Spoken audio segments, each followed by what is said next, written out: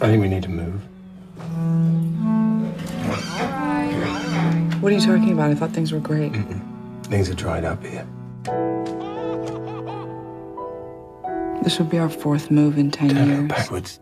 But money's fine, right? Yeah. Right? Yeah. This is a fresh start.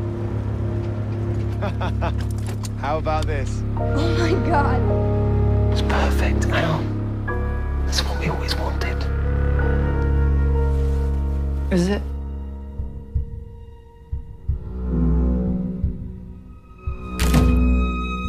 You're embarrassing. And you're exhausting. I paid our rent. I paid for Ben's school. I bought you a car. I bought you a horse. I paid for construction on your barn. You're delusional. I'll make money for us. For us?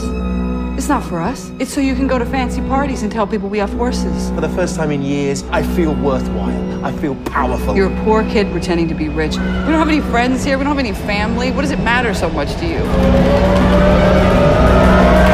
Because I deserve this! And I deserve a lot more!